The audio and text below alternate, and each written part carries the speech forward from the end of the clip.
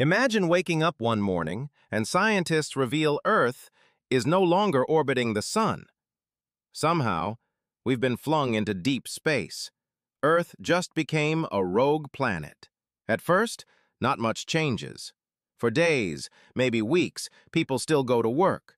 But slowly, the sun looks smaller, the sky gets darker, temperatures begin to drop. Oceans start freezing from the top down. Cities become buried under ice. Every warm place becomes a survival fortress. We would learn to live underground, near volcanic heat. Entire nations would migrate to geothermal hotspots, like Iceland. The night sky would now be everything.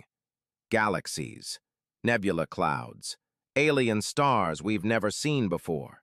We would drift between the stars for tens of thousands of years, until one day, maybe, we pass close to another solar system, and humans ask the ultimate question.